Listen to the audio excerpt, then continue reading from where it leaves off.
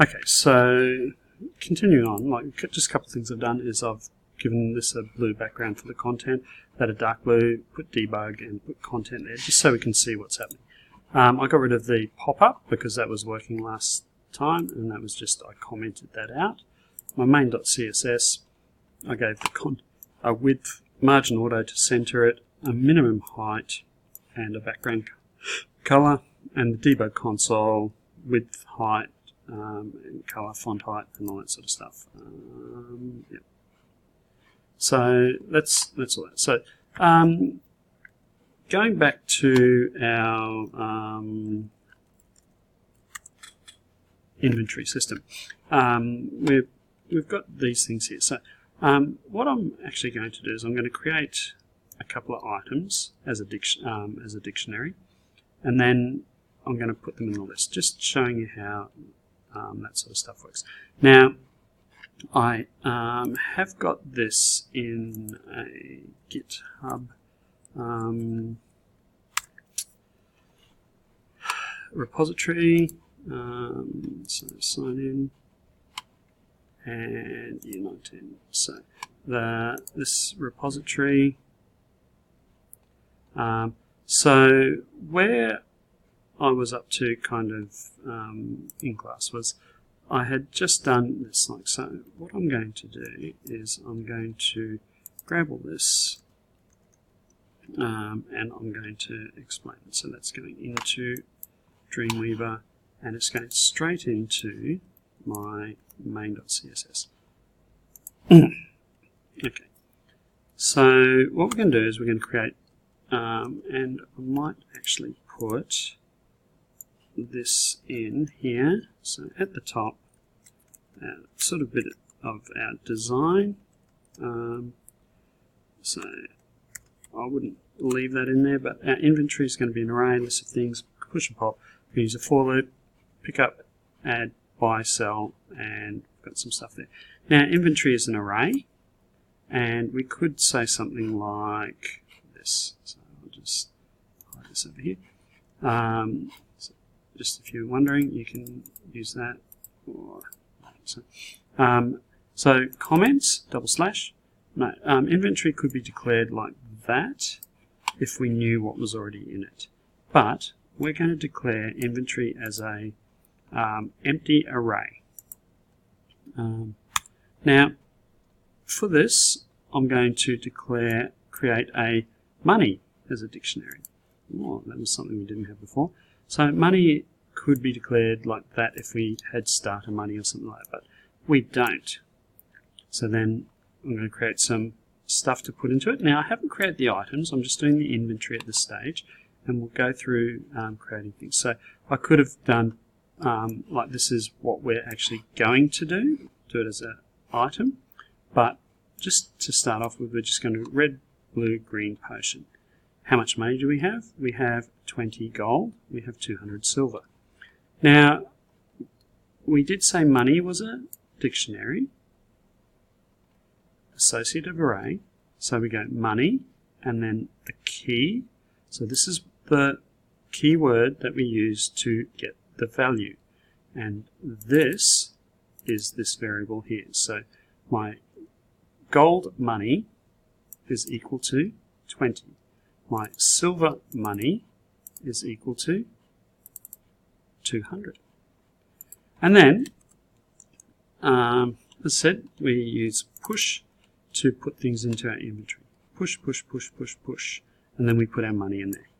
Now, to display items in our inventory, um, we use a for loop.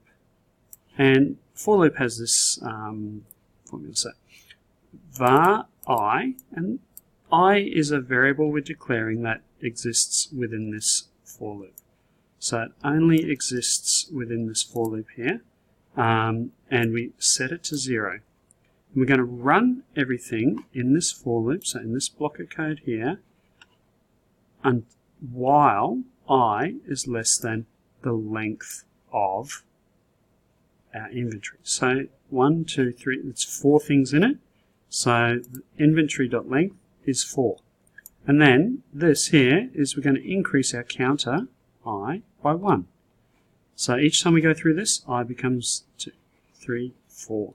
And then i is equal to that, so it's not going to do uh, when i is 4. It's going to go 0, 1, 2, 3, and then finish up here. So this here should be, I'm going to put this into content. So our message, so and um, is going to go into our content here. So, so message equals document and get element by ID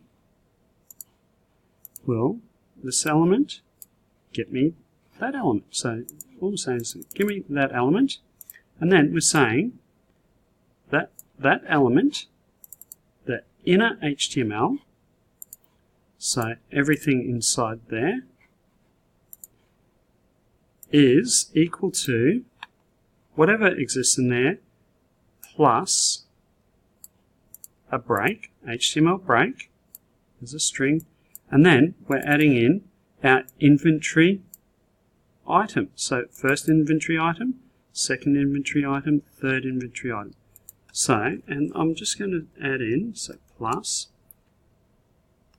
is inventory item number, and I'm going to go plus i.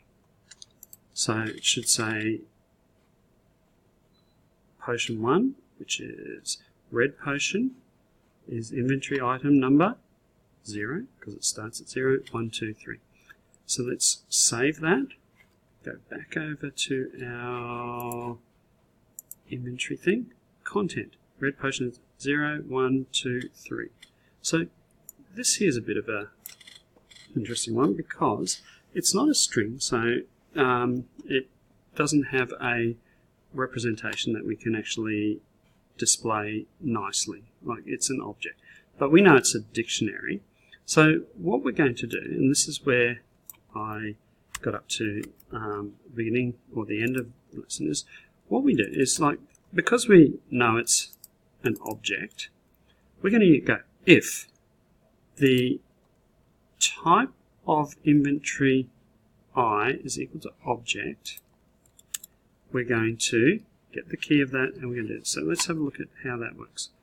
Um, and it's JavaScript, it's type of, and this is where doing multiple languages at once is really annoying. So save that and object, if type of is equal to object, and I need to get rid of that. Gold undefined, silver undefined. Ooh, so money inventory value equals, what we say it was? Goal um, is inventory item that key um, is inventory money think. Uh, let me let me think about this one. Um, let's have a look at this. So we're getting that key is for each key in inventory item I, we're going to say value equals inventory item I and then we're going to grab the value of that and that will tell us that. So that was me freestyling yesterday and I was a little bit out but this is the correct way to do this. So uh, just tidy this up um, and that one goes in, that one goes in and that one comes back. Okay, so if the type of that is equal to object, and we know that because we printed it out, and we know that um, we're expecting it to be an object, so we're testing for it. So if this is true, we're going to go for each key in that object, So we have money is our object. So we have one, two keys. We, so for each key, so we have a variable key. So key one is going to be gold. Key two is going to be silver. We're going to grab the value by using that key. And then we're going to add that into our HTML. So we're going to say add a break, then we're going to put the key in. So key, gold, and silver. And look, just, I can go gold and I can go silver. Um, save that. So that will change those. And the value, um, let's give us some more gold, 200 gold. And capitalize that. So we don't actually want to, um, like, so we're printing that out, but we don't actually want to do that because we like we're doing this check after we've printed it. So what we can do is we can actually move that down and do that first, and then um, so if it does that, print that. Else, we're going to print it as normal. So if it is equal to that, we're going to print the key and the value. Otherwise, we're going to print this one. So that is kind of what we want. So that's our inventory working with really basic things. So we haven't got, we've kind of got an object here, an item, but we really haven't got um, any of this stuff happening here. So we're going to we're going to um, create a inventory that is going to be a um, we're probably going to create as a dictionary and then we're going to store these things in the dictionary and then we're going to have an array as part of it. And then we're going to write some functions through that. Now if I was doing this I would be using classes um, and I would be um, probably um, doing it slightly differently but I'm trying to teach how to use arrays and dictionaries. So that's an explanation that. I'll quickly go over this bit here one more time. Um, so this, this stuff at the top um, is just setting things up. This is the main bit here. So, for um, in, when we iterate over a array, we do it like this. So we need to go from the first item, which is item 0, all the way up to the um, last item, but we don't want to go to the past the last item because um, it won't be set and we'll get an error. And then this here, just make sure that we're incrementing it. So we grab our container to put our message in. Then if it's an object, and the object is our money, we're going to grab the key value. Otherwise, we're just going to and print out the key and the value. Otherwise, we're going to do it that way. So I'll leave that there. We're going to go through a couple more inventory or items and things like that.